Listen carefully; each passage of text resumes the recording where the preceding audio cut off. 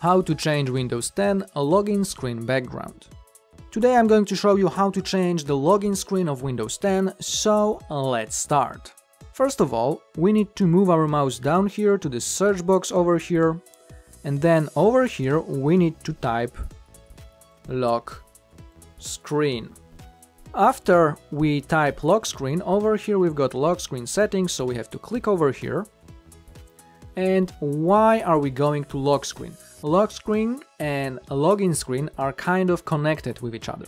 So what we need to do over here is scroll down to the bottom and then make sure that over here show lock screen background picture on the sign in screen is turned on.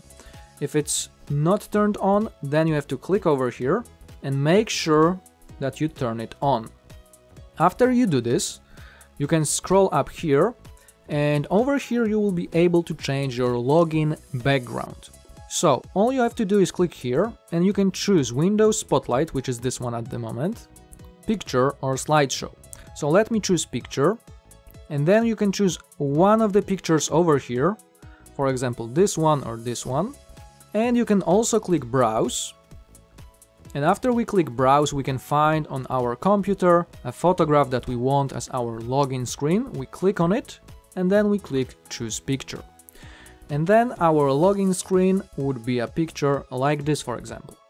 I'm going to change it to this one, because that's the one I like. And after you finish, all you have to do is click on it, it will be automatically saved, it may take few seconds, it's saved already and the next time you will try to log in and this will be the photograph on your login screen.